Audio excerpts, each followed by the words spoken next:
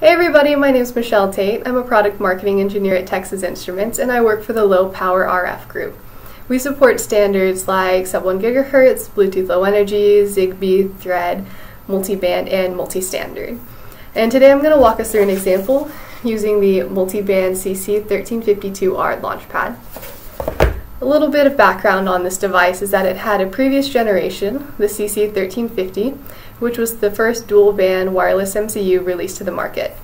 Uh, the CC1350 supported sub 1 GHz plus Bluetooth Low Energy beaconing concurrently. The CC1352R launchpad supports sub 1 GHz plus another 2.4 GHz protocol, such as Zigbee, Thread, or Bluetooth.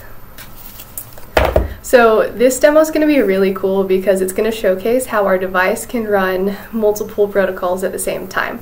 Specifically, this demo will illustrate how we can run sub 1 gigahertz plus full Bluetooth Low Energy concurrently. So to get started, you'll need three things. You'll need two CC1352R launch pads. In one of these boxes, you'll find one launch pad and one USB cable. So be sure to purchase two of these so that you can run the example. In addition to that, you're going to need one smartphone so that you can download an app called BLE Scanner, and this will be used to connect our smartphone to our network. So to get started, we're going to program our first launchpad with the remote display, and we'll do that now. So to program our first launchpad, we're going to use TI Resource Explorer, and in here you'll find a folder called Software, and then go to SimpleLink CC13X2 SDK, Examples in DMM, the Dynamic Multi-Protocol Manager, in here we're going to find the example we're going to run, which is the Node Remote Display. So I'm going to take the Node Remote Display app software and import it into my CCS Cloud by clicking this button. So now that I have my software, I'm going to plug my first launchpad into my computer using the USB. And I'm going to click the Run button so that I can build this software and flash my first launchpad. And while this is building, I'm going to download the BLE Scanner app on my smartphone as well. So now that I've put the software on my first launchpad, I'm going to go back to TI Resource Explorer and get the software for my second launchpad. So in the EasyLink folder, you'll find um, another folder called the RFWSN Concentrator. And this is the software that we're going to want to use for our second launchpad. And again, I'm going to import it using the cloud button. So now I'm going to unplug my first Launchpad and plug in my second one. And I'm going to click the run button so the software builds and it flashes my second launchpad. Now that I've flashed both launchpads and have downloaded the BLE scanner app, I'm going to showcase how we have our sub 1 gigahertz network up and running. And to do so, I'm going to use TeraTerm and open up a serial port using UART and set my baud rate to 115200 for the second launch pad. And now I'm going to connect that first launch pad I flashed. And I'm going to create another TeraTerm connection.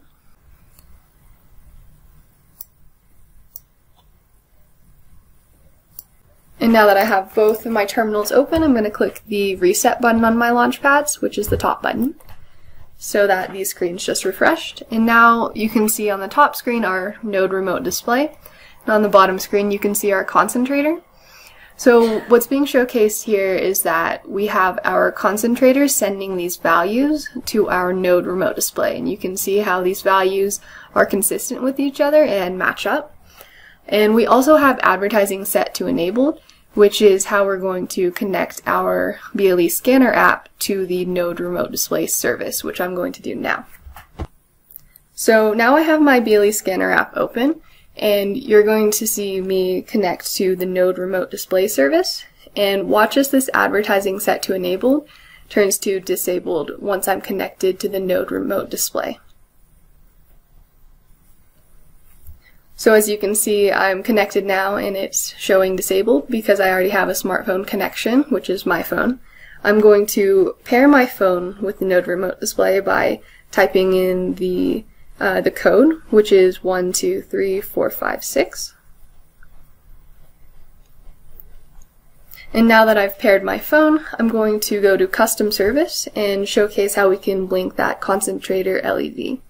So to do so, I'm going to scroll down to concentrator LED identify, click the right read button, and write a value like 01.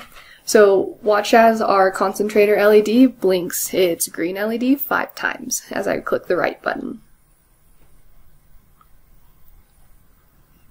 So as you can see, we just sent a command over Bluetooth, all the while our sub 1 gigahertz network has been maintained and these values have continued to be sent over that network. So next I'm going to showcase how we can change this node address. And to do so, I'm going to go to the node address service in my app and click the right read button. And write a value like 7a.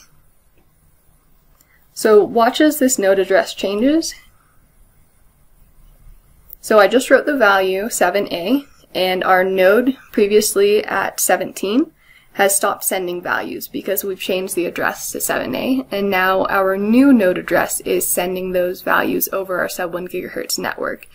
And you can see how it immediately started sending those values again without any of those delays because we can run our Bluetooth low energy and sub 1 gigahertz stack concurrently. So now we're going to change this interval address, the interval um, of the values being sent.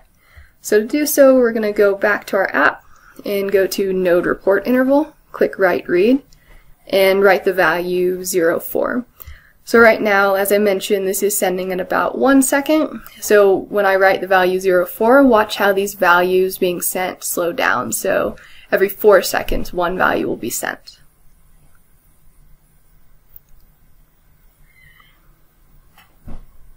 So you can see how these values have slowed down, and now every four seconds we're sending a value from our concentrator and receiving that same value from our node remote display. So everything I just showed you showcases how our Bluetooth Low Energy and sub 1 gigahertz stack is running concurrently um, so that when we pair our smartphone with our node remote display, our sub 1 gigahertz network isn't disturbed and it maintains sending those values and receiving those values. So why is everything that I just showed you so cool? Well, it's because of those applications you can see and create out in the real world. So take, for example, hotels and all of those rooms and all of those door locks that they have. Say you replace them with electronic smart locks, and then you can access them with your phone. So how that benefits you as a user? Well, it benefits a visitor, it benefits concierge, maintenance guys, security guys, so many people throughout the process. And here's how. Say you're a visitor, you walk up to the concierge and you want to use your phone as your key instead of carrying around another plastic card in your pocket. Well, the concierge can check the status of all the doors in that sub 1 gigahertz network from his remote display, so his laptop and he can see their status. Are they open? Are they closed? Do they need to, well, for the maintenance guy, do they need to be serviced? Do they, are they assignable? So can I assign this visitor this door? If it's available, he can update that address, or let's say a security key in this instance.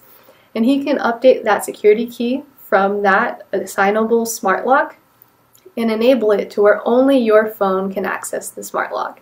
So only your phone will be allowed to authenticate and enter that door.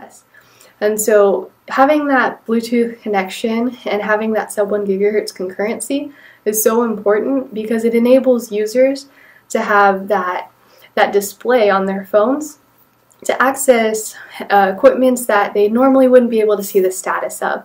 All the while, those equipments are maintaining their sub 1 gigahertz connection in that network and reporting their statuses. So end equipments like this and applications you see out in the real world like this are what makes BLE plus sub 1 gigahertz concurrency so amazing. And so we're really excited to show you this video and show you and walk you through this demonstration um, with the CC1352R Launchpad.